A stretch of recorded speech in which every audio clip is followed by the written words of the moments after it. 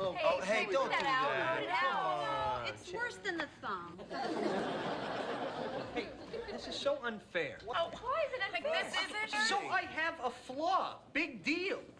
Like Joey's constant knuckle cracking isn't annoying, and Ross with his overpronouncing every single word, and Monica with that snort when she laughs. I mean, what the hell is that thing? I accept all those flaws. Why can't you accept me for this?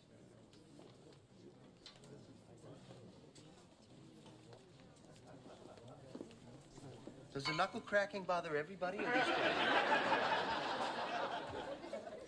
Well, I I could live without it. Was it like a little annoying, or is it like when Phoebe chews her hair? Oh, now don't listen to him, Phoebes, all right? I think it's endearing. Oh, you do, do you?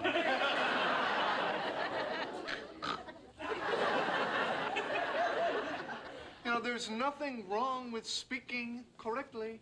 Indeed, there isn't. I should really get back to work. Yeah, otherwise someone might get what they actually ordered. Well, Oh, uh-huh. the hair comes out and the gloves come off. well, it started with this guy right here.